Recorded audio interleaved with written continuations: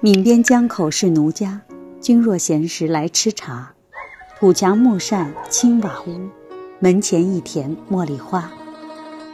曾经土生土长在福州的外婆说，小时候的三伏天，在福州的街头行走，随处可见提着茉莉花穿行在车流中的小贩，花香遍布城市的大街小巷。福州的夏天，带着茉莉花的香味。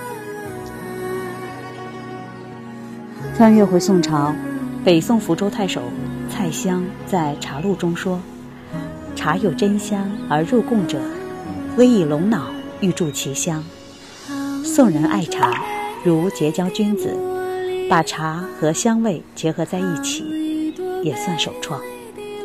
在淘汰了几十种香味后，茉莉花与绿茶的印制脱颖而出，福州也与茉莉花茶。结下了深深的缘分。茉莉，梅丽；茉莉，淡泊名利。